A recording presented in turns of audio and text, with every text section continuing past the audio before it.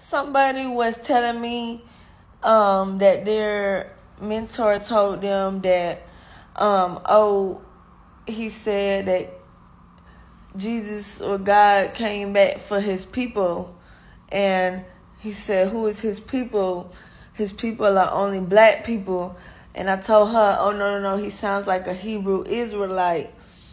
Um, they take little stuff in and out the Bible. My homeboy Jimmy, for instance, um, he's white and he he knows the original Jews were black. He told me that, and I know personally, I know Jesus was black says it in that Bible that his hair was made of wool and his feet was golden. And on that side of the world, people are already um black. Even when I was in Egypt, even though they have Egyptians every color, they told me all Egyptians are black.